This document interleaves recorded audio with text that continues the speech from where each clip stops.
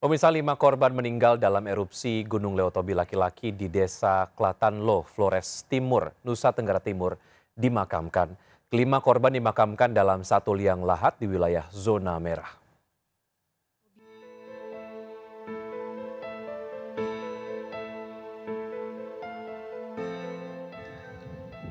Anggota TNI dibantu warga memakamkan lima korban meninggal dalam erupsi Gunung Lewotobi laki-laki di Flores Timur, Nusa Tenggara Timur.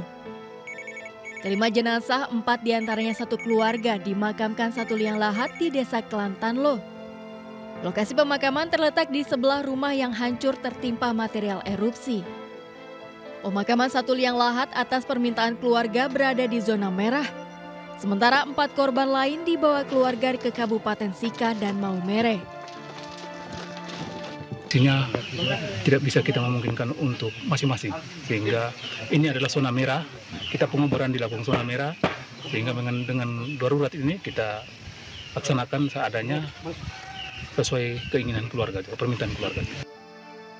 Akibat erupsi Gunung Lewotobi laki-laki ratusan rumah warga dan sekolah di Desa Kelatanlo, Kecamatan Nulanggitang rusak parah. Ribuan warga sudah mengungsi Kecamatan Wulanggitang dan Kecamatan Ilebura.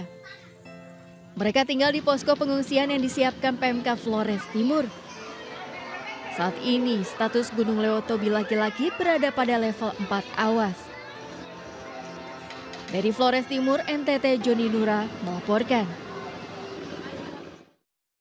Sementara itu erupsi Gunung Semeru di Lumajang dengan tinggi kolom asap 800 meter dari puncak. Dalam 24 jam terakhir sudah 10 kali erupsi. BPBD mengimbau penambang pasir untuk waspada terutama potensi banjir lahar dingin. Gunung Semeru saat ini berada di level 2 atau waspada. Warga dilarang beraktivitas di radius 13 km dari puncak.